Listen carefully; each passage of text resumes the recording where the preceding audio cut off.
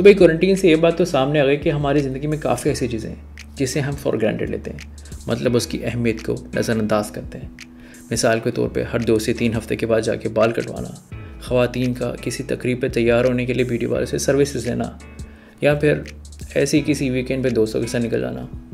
लेकिन एक चीज़ है जिसका हम भरपूर इस्तेमाल करते हैं और उसकी सलाहियतों को अक्सर नज़रअंदाज कर देते हैं और वो है टेक्नोलॉजी ओ मड़ा तुम क्या बात करते हैं? क्यों मामू मैंने कुछ गलत कह दिया क्या? ओ मड़ा पूरी दुनिया का टेक्नोलॉजी और डॉक्टर मिलके एक सुई नहीं बना सका। तुम बोलता है टेक्नोलॉजी ज़रूरी है। ओहो मामू ऐसे थोड़ी ना होता। है एक वैक्सीन बनाने के लिए पहले उसके वायरस को पढ़ना पड़ता है। उसकी हरकत को जानना पड़ता है। उसमें कई सालों लग जाते हैं। फिर जाके वैक्सीन बनती है। ओह माड़ा तुमको नहीं पता।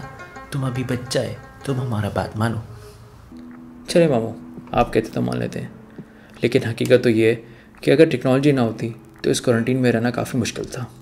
मिसाल के तौर पे घर बैठे आप मोबाइल ऐप्स के ज़रिए गर्म खाना ऑर्डर कर सकते हैं। तो ग्रॉसरी भी आपको घर पे पहुंचाई जाती है। और तो और अब हम रिश्तेदारों की खुशी या गम में भी शिरकत कर सकते हैं। और तीस साल पहले तो हम इस चीज़ का तस्वर भी नहीं कर सकते थे। लेकिन इससे भी एक इंपॉर्टेंट चीज़ है जिसे हम फॉर ग्रांटेड लेते हैं। वो क्या है माड़ा? हमारी ज़िंदगी।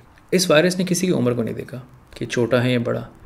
बस हर एक को अपनी गिरफ्त में ले लिया और कई लोगों की जाने भी गई हैं। हम अक्सर सोचते हैं कि हमारी ज़िंदगी काफ़ी लंबी है।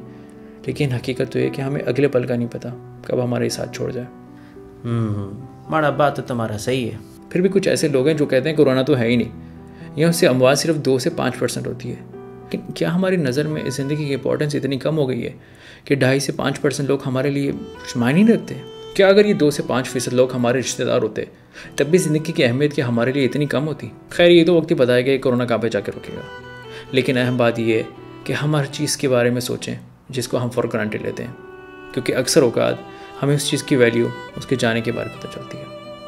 माड़ा जो बोलता है ना, कोरोना नहीं है। भाई, तुम थोड़ा एहतियात करो भाई। बहुत लोग मर रहे हैं। थोड़ा इंसानियत दिखाओ बाबा।